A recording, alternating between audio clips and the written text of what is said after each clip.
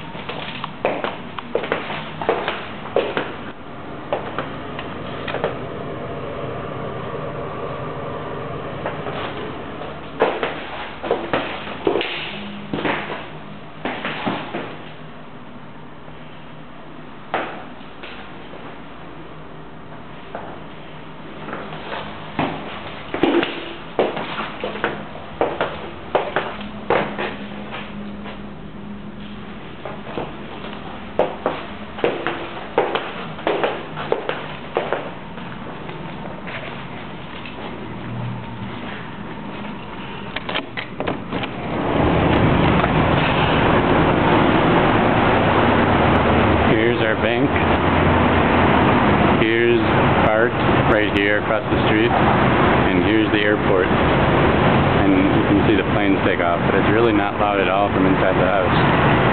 Inside the apartment, we saw a couple take off and you can barely hear it. I couldn't hear it at all. This is El Camino Real. So out on the balcony it's kind of loud. But it's also cool, you get a view. Here's the bay.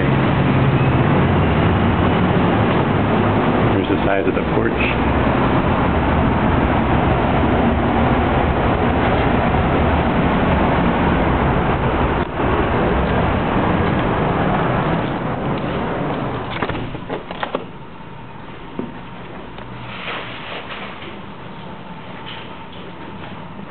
There's the fireplace. That's it.